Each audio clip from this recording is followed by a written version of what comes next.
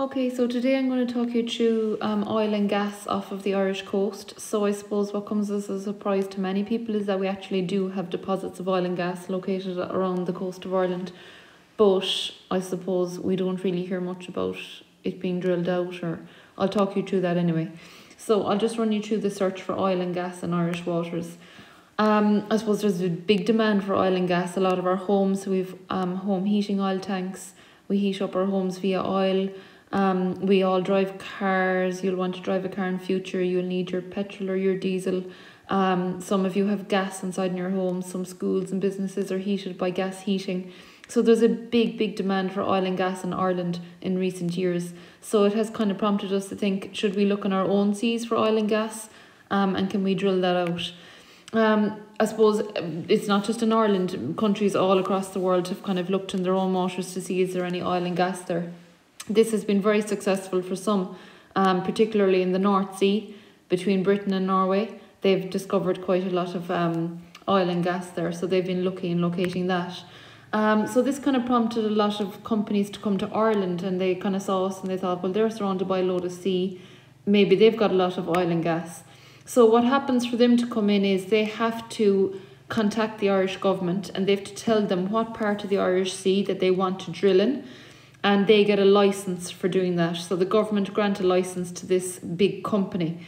Um, so when they get the license, then they drill for oil or gas. Now, when they drill down into the seabed, they're drilling down into rock. And when they take out whatever oil or gas comes out of it, they test it to see is it good quality. If it's good quality, then they go back and they run tests to see is there a good enough quantity of it there. Because if there isn't enough of it there, there's no point in drilling it out because it would cost you a fortune to set everything up. If you're not going to make the money back, there's no point. So we actually have discovered oil off the Waterford and off of the Cork coast. However, any company that did discover the oil off of the Waterford and Cork coast, they've decided not to bother setting up production. They've decided not to bother drilling it out because there's a very, very small amount of oil. So that's a pity. Maybe down the road when we're really begging for oil and really looking for it, we might drill it out then, but I wouldn't imagine at the moment. Um, so the cost of bringing the oil ashore would be more than the value of the oil itself. Um, so at the moment we're not drilling the oil out. Um, as regards gas, we have actually found good deposits of gas in Ireland. Um, our two locations are one of them is off of the Kinsale coast, off of the coast of Kinsale. Um, you can see it in the second picture there on the right hand side. We've actually got, um, and it's not too far, it's on about 50 kilometres off of the coast of Kinsale they've basically discovered a big gas field in the rock underneath the seabed and they've been drilling that out for over 30 or 40 years, something like that. And it's been supplying Ireland with loads of its gas for years and years. Now they're actually closing it this year because they've drilled out all the gas that they can possibly drill out. So we have been lucky enough to find another gas field off of the coast of Mayo and that is going to supply us with gas for a number of years. So I suppose when one gas field is closing, the other one is kind of opening and kind of easing the pressure and supplying us with gas for many years to come. Um, just having a look at this map here, I suppose this shows you all of the potential oil locations and gas locations across Ireland, and there's quite a lot of them.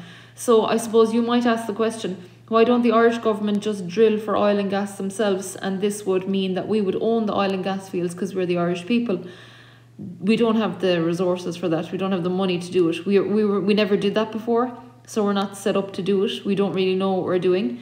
Um, there's nothing to stop us doing it in future, of course. I suppose the easiest thing for us to do is we rent um, the plot of the seabed to these global companies that come in like Shell um, or Amber or Topaz. We rent the seabed to them. We give them a license to drill there and that's probably the bit of money that we're making but it is a pity that we don't drill it out ourselves. So i'm just going to skip on a few slides a moment um, and i want to talk to you about the Corrib gas field because that's what you read the article on for homework and it's really good to know about it in case it ever comes up in a test in your junior cycle exam so the Corrib gas field is a gas field that's located off of the coast of Mayo and it's actually quite close to the coast of Mayo. You can see it in the map there. It's only about 80 or 83 kilometres away from the coast, so it's relatively relatively close. Um, it was discovered in 1996, so about imagine 24 years ago at this stage. So it was discovered in 1996 and it was discovered by Shell. Now, I'm not sure if you've heard of the oil company Shell, but they would be a big global multinational business worth a fortune and they mostly go around the world searching for oil and gas fields to drill. Um, so they discovered it in 1996 and they found a good quality gas and they found there's actually plenty of gas there. So they were delighted with that. The gas field up off the coast of Mayo is 70% the size of the Kinsale Head one. So that's really good. So it's going to supply us with almost the same amount of gas that Kinsale has been supplying us with. It will supply us with gas for up to 20 years, meeting 60% of our gas needs. So that means we only need to import 40% of our gas from abroad, say get it in from Russia or somewhere. That's really good because it's actually cheaper to buy it locally than it is to import it in from another country because you can imagine the cost for those foreign countries importing it in via pipeline. So buy it locally and it's cheaper. Um, so when Shell discovered the gas field, their plan was to build the gas rig out 80 kilometres out in the ocean, as you can see in the red mark there on the map. And their plan was to bring and pipe that gas untreated via pipeline all the way onto the on through the ocean onshore onto the land about 90 kilometers of a distance into a terminal a gas terminal now a gas terminal is gas factory and they planned to treat the gas there now when i say treat the gas you basically reduce the pressure in it okay so when they drill it out on the offshore gas rig it's untreated they plan to bring the untreated gas which has high pressure in it via pipeline onshore onto the land to a gas terminal, okay, running through people's farmland and running through people's homes. Now, you can imagine that that caused a lot of controversy. Um, it was the setting up of the whole gas factory and the pipeline was delayed for years and years and years because of protests from the locals. So they were objecting to the planning permission and they protested for almost 10 years. Um, why were they angry about this? Well, they were angry because number one, they weren't consulted about the route of the pipeline. It was just decided upon. Nobody consulted the locals. People's homes were going to be interfered with in farmland, and it's a very much agricultural community up there, so they weren't happy. Um, they felt that the gas pipeline was going to be running very, very close to their homes, and the danger of this is that if you bring gas in a pipeline on land that's untreated, as I said to you a few moments ago, untreated gas is high pressure, it's highly explosive, so there's an increased risk of explosion. Okay? So the locals were trying to say to Shell, wouldn't you just treat the gas out on the offshore gas rig? When you most gas companies do that. When they build the gas rig offshore, they treat the gas out there out in the sea and then they bring it into the land when it is lower pressure and when it's treated and then it's safer. So they just couldn't understand why Shell wanted to do it this way and put everyone's lives, um, animals, people at risk. Okay, so they feared as well. Another problem was they were afraid that when they were going to build the gas terminal, the gas factory on the land, it was built on forestry land, and they were afraid it was going to contaminate water supply. So they were afraid that they were going to get like, you know, infected or um, affected by that.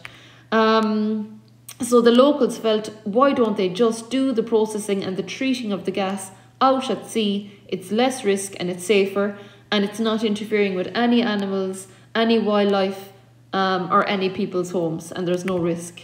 They had to protest for almost 10 years. They were blocking the machinery and the construction companies from getting in to build the pipeline. Um, the guards were brought in. It was really a big thing in the news actually for the time that it happened. I remember it myself.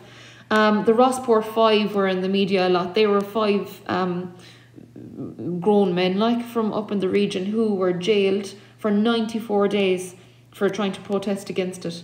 I mean, it's mad. There's people who commit serious crimes that don't get jail time for it, and they got it, you know.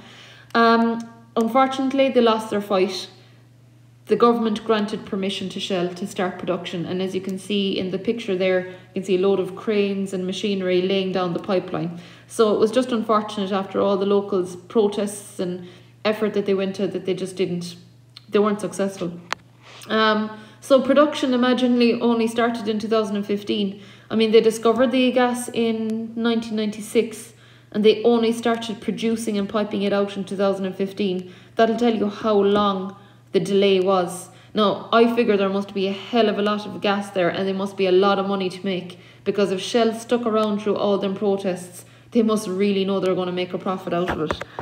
Um, so the gas is transported untreated via pipeline from the offshore gas rig to the onshore gas terminal or facility or factory and it runs through 90 kilometres of pipeline. So you can see there's a big construction, even that factory you can see in front of you, there's a lot of set up there.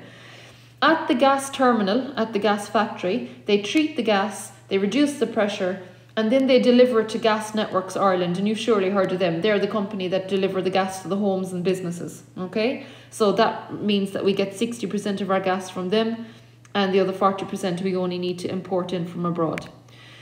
In 2018, so two years ago, interestingly, Shell actually sold their stake in the Corrib gas field at a loss. They must have been really fed up at that stage and they I suppose they just wanted out.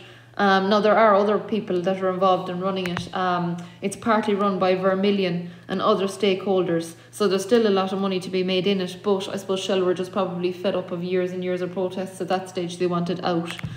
Um, the good and beneficial beneficial side of the whole Corrib gas field is that when it was being constructed, when they were building the gas rig, when they were building the pipeline, when they were building the gas terminal, six thousand people were involved in constructing the whole thing. Like that's 6,000 jobs, that's a lot of people employed and that's a lot of money being spent locally. So that's really, really good. The, the actual Shell company spent 22 million euros themselves upgrading local roads. So they were very conscious of the fact that they had heavy machinery and heavy trucks driving on those roads, bringing pipes and laying pipeline, and the roads were destroyed. So that was good of them that they spent 22 million upgrading the local roads. That would benefit the local people. Um, it had a spin-off effect on the local economy when it was being built because earlier, what did we say? There was 6,000 people in, um, employed at the time. A lot of those were local people and a lot were fellas from Cork, from Dublin, and they were staying up there in the Mayo region for the duration of the construction. They would have been staying in local hotels, local B&Bs, going to local supermarkets, restaurants, barbers, hairdressers, whatever, you name it. Um, they were spending their money locally. So there was a big spin off effect for the local businesses. Um, at the moment, they employ 150 people full time. So that's really, really positive. There's 150 people up in Mayo employed full time in this, like especially for a region that doesn't really have a whole lot of businesses up there and really depend on farming. It's good that there's work created. Um, I hope I've explained that okay. Um, and feel free to message me if you